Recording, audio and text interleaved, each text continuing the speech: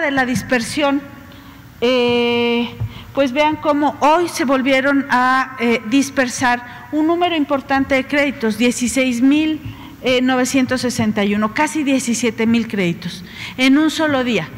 En un solo día con COVID-19 pululando por las superficies, amenazándonos del contagio. los beneficiarios fueron a las sucursales, eh, y se identificaron, llevaban su cita y eh, logramos dispersar a través de darle a cada uno de los 16.961, hacerle entrega de los 25 mil pesos, logramos dispersar casi 425 mil eh, millones de pesos. Pues esa, perdón, 425 millones de pesos. Esa es una cifra